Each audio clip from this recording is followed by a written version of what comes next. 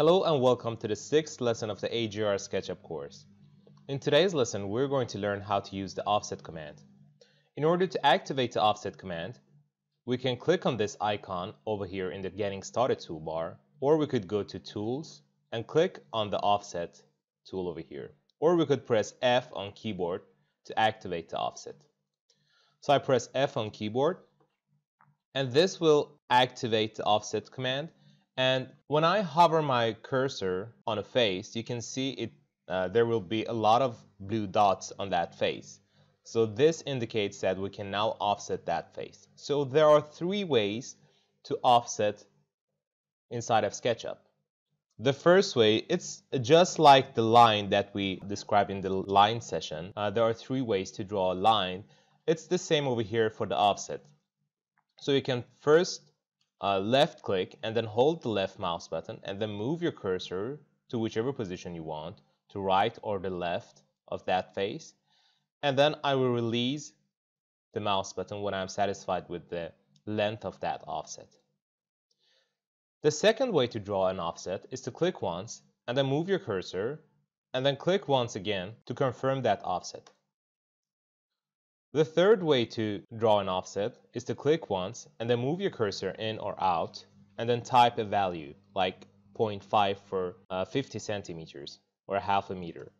These are the three ways that you can use to create offsets inside of SketchUp. So now I will make a copy of this and if I want to delete an offset that we created, we could just double click on that face and then uh, hit delete on our keyboard and this will delete that offset. I can do that again. And also if I want to uh, delete an outer edge of this offset, or let me just offset it again, like uh, we can have uh, half a meter on the outside. So I will double click and then hold Control Shift and double click in the inner face and this will deselect the lines of that curve. And now when I press delete, this will delete the lines, the outer lines, and also the face of that offset. So what if we want to uh, create multiple offsets? There are a couple of ways that we can uh, create that offsets. The first way is to click once and then move your cursor and then type uh, half a meter, for example, and then uh, move it in again and then click and type half a meter. And as you can see, it's very time consuming to do that all over again. So there is another option uh, that SketchUp has uh, created for us. And that is if we double click on a face, this will create an offset as the same length as the previous offset that we did. So I will double click on this face. And as you can see, it created an offset with a half a meter. And if I double click again, you can see that it starts making a lot of offsets inside.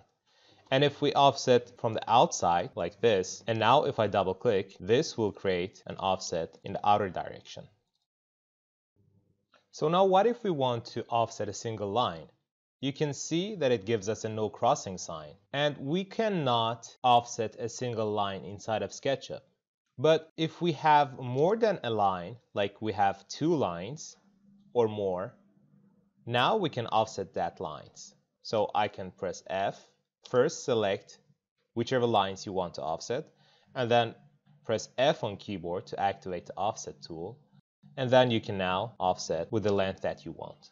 Right, let me make a copy of this over here. Now we can also select the whole connected lines and now we can press F on keyboard for the offset and now we can move our cursor to the right or to the left of that line and we could type a value like for example half a meter. And this will create an offset. And if I want to create multiple offsets, it would not be the same as the face. So we need to first select the last offset that we have created. And then now we can press F and then double click on that line. So triple click, offset, and then double click to make that offset again. Another important thing to keep in mind is that Offset only works in SketchUp in a 2D plane.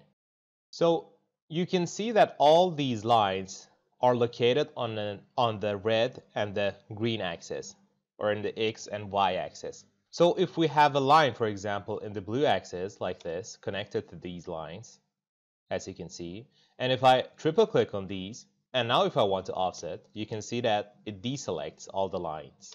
Or for example, this is very crucial to keep in mind uh, because if we move this uh, vertex up, for example, uh, one millimeter, it will not be noticeable. But if we triple click and hit offset, you can see that it deselects these lines. This is because this point or this vertex is not at the same height of these other vertices.